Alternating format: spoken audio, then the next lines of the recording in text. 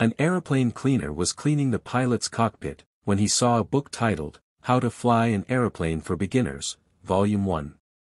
He opened the first page which said, To start the engine, press the red button. He did so, and the airplane engine started. He was happy and opened the next page. To get the airplane moving, press the blue button.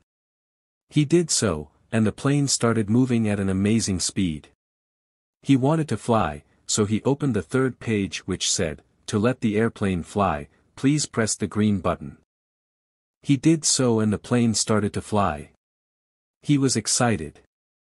After 20 minutes of flying, he was satisfied, and wanted to land, so he decided to go to the fourth page, and page 4 says, to be able to know how to land a plane, please purchase volume 2 at the nearest bookshop. Moral Lesson Never attempt anything without complete information. Half education is not only dangerous but destructive.